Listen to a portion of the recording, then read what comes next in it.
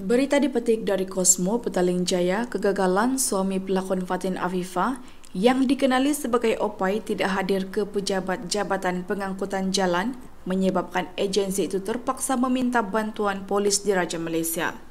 Opai sepatutnya hadir untuk dirakam keterangannya selepas dikesan menggunakan nombor pendaftaran QPA1 pada supercar McLaren miliknya yang bukan nombor sebenar. Timbalan Pengarah JPJ Kuala Lumpur, Eric Yusin berkata, notis panggilan temu siasat sudah pun diserahkan kepada OPAI. Selepas tempoh 14 hari lelaki terbabit masih belum hadir ke pejabat JPJ. Jadi kami minta bantuan polis kerana mereka mempunyai kuasa untuk mengeluarkan waran dan mengesannya di rumah, katanya ketika ditemui selepas op khas motosikal sempena Hari Raya Adha di Jalan Pahang.